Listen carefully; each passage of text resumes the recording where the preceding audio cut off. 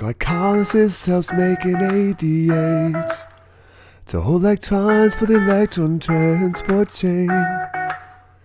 In the cytoplasm, it can happen anaerobically.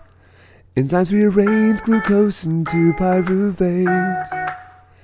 In the Krebs cycle, CO2 is produced by organic intermediates, substrate level phosphorylation.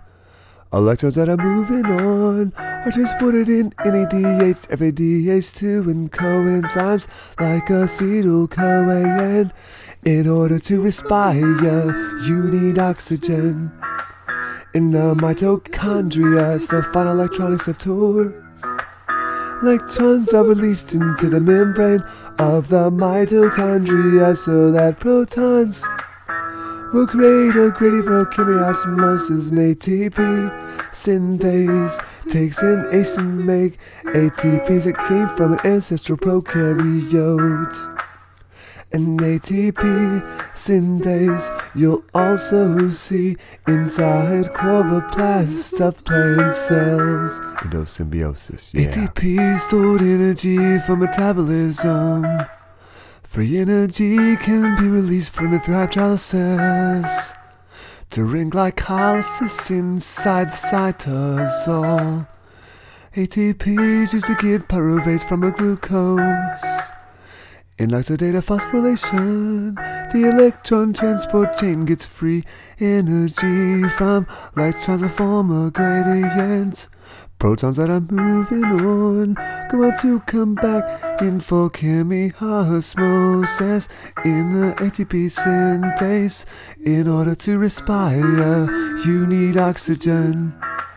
In the mitochondria, the final electron acceptor. Electrons are released into the membrane of the mitochondria so that protons will create a gradient for chemiosmosis and ATP synthase takes in ACE to make ATPs. It came from an ancestral prokaryote.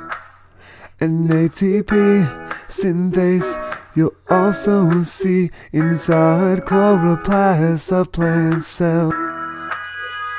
Cristae are enfoldings, they're inside and they increase surface area to make ATP. SA to V ratio. Cristae are enfoldings, they're inside and they increase surface area to make ATP. Structure function up in this Products matrix. from the cell respiration are real small, so they diffuse through the membrane of the mitochondria.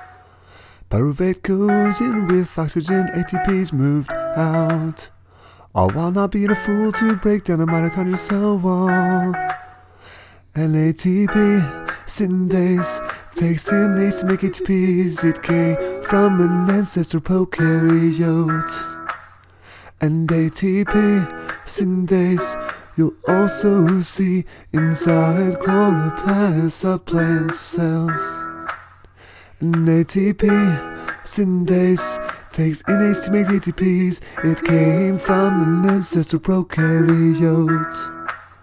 And ATP, ATP synthase, synthase. you'll also see inside chloroplasts of plant cells. Mighty mitochondria.